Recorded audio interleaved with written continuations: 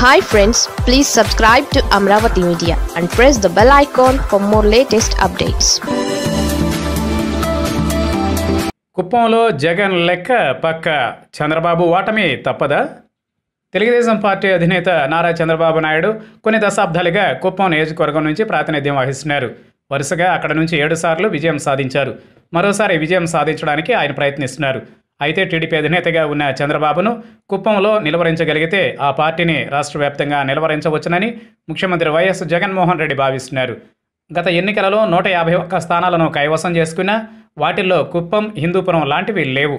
పంతొమ్మిది వందల ఎనభై తొమ్మిది ఎన్నికలలో కుప్పం నుంచి పోటీ చేసిన చంద్రబాబు ఆ తర్వాత అక్కడ నుంచి రెండు వేల పంతొమ్మిది ఎన్నికల వరకు వరుసగా విజయం సాధిస్తూ వస్తున్నారు. ఎలాగైనా చంద్రబాబును ఇక్కడ ఓడించగలిగితే అధికారం సాధ్యపడుతుందని జగన్ భావిస్తున్నారు. రానున్న ఎన్నికలలో గెలుపొంది రెండవసారి అధికారంలోకి రావాలనుకుంటున్న వైఎస్ఆర్ కాంగ్రెస్ పార్టీ అందుకు తొలి వ్యూహంగా కుప్పంను ఎంచుకుంది. తాను ఓదార్పు యాత్ర చేసే సమయంలో కూడా వెళ్ళని కుప్పానికి ముఖ్యమంత్రి హోదాలో తొలిసారిగా వెళ్ళారు అరవై ఆరు కోట్లతో అభివృద్ధి పనులకు శంకుస్థాపనలు చేశారు.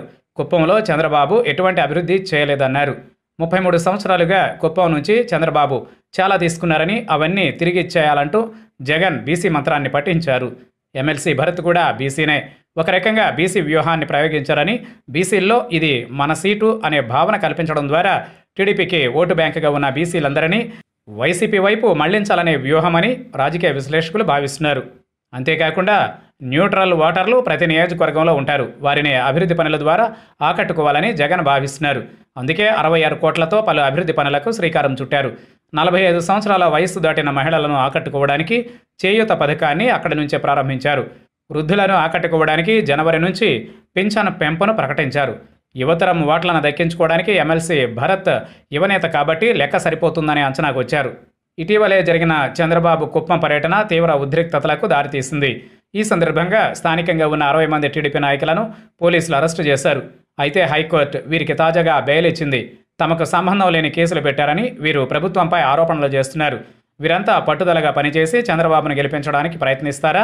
లేదంటే జగన్మోహన్ రెడ్డి వ్యూహం ఫలించి భరత్ విజయం సాధిస్తారా అనే దానిపై స్పష్టత రావాలంటే కొంతకాలం వేచి చూడక తప్పదు.